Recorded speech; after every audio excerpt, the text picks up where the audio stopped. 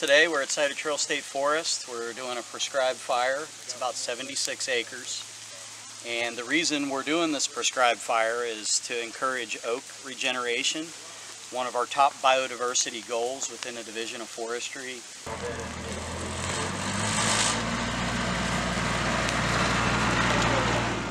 What we're trying to do is to knock back the shade tolerant seedlings like maple and beech and uh, because oak and hickory trees have a much more developed root system for seedlings, they tend to sprout back from fire much better. So fire really uh, promotes them at the expense of uh, black gum, maple, beech, some of the other trees that uh, uh, we'd like to see oak get a competitive advantage over.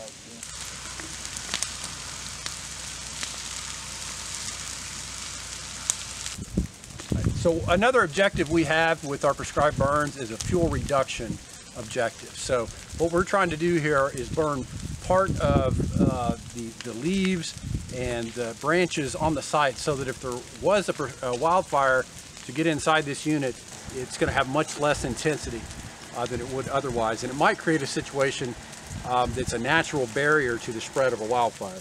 And you can see that here when you look at the ground and what, what, what the ground that was covered with leaves uh, now has been burnt. Now we don't burn all the fuel on the site. Um, the leaves are burnt, uh, but a lot of these uh, twigs and branches are still here, and, and that's okay. we're not trying to burn it all, but the more, the more that we burn, the less likely it is if a wildfire was here to spread rapidly. It's going to spread much slower, and that's going to make suppression much easier.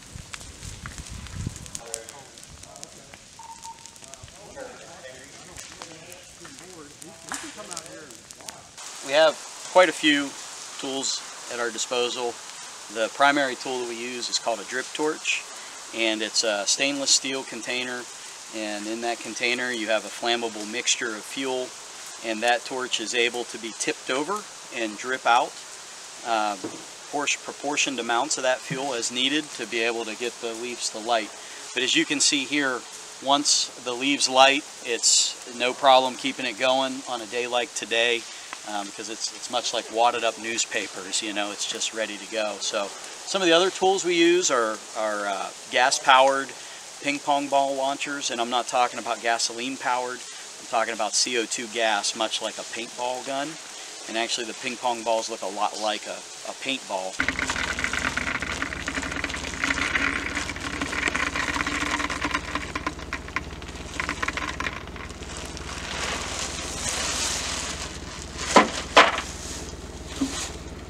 These aren't just our standard ping pong ball guns. They're actually a ignition device that uses something that looks like ping pong balls.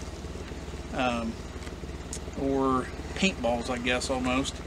But each ball is filled with uh, potassium permanganate. So there's a little powder inside. And on these guns, they have a needle that will pierce the ball inside and it injects just a small amount of ethylene glycol, which is just standard antifreeze.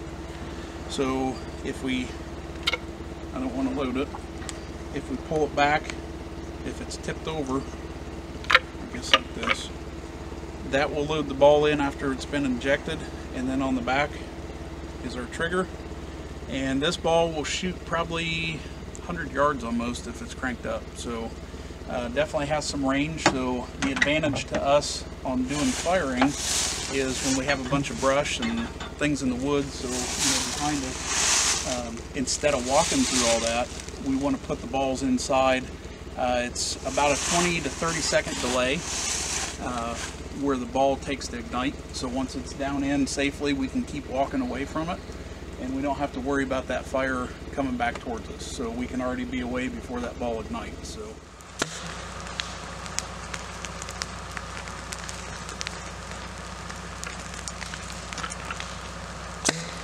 Once he hits the button there and it injects, we've got uh, about five seconds where that's got to be shot or it'll start a fire in the barrel. So he's got to shoot it out and, and keep it going.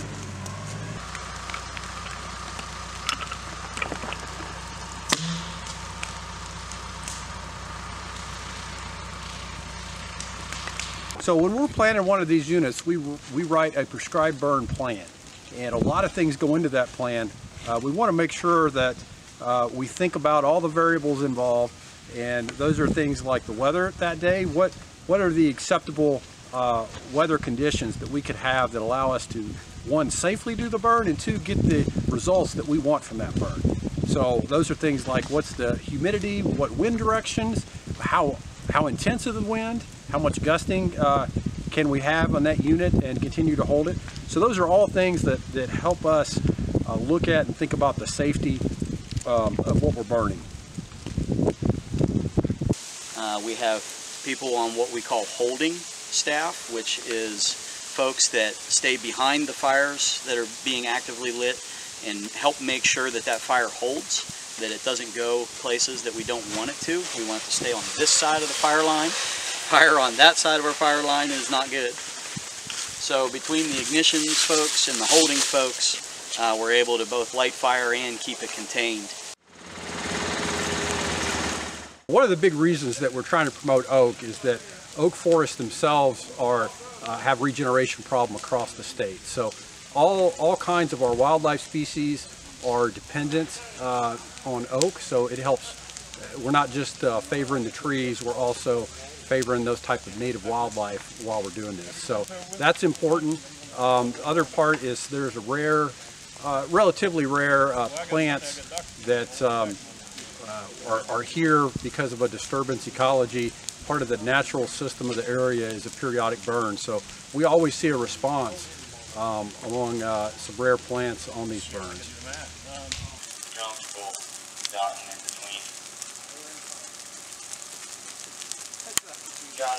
So, in a nutshell, that's why we're doing it. We really want to try to get new, young oak and hickory seedlings to grow in.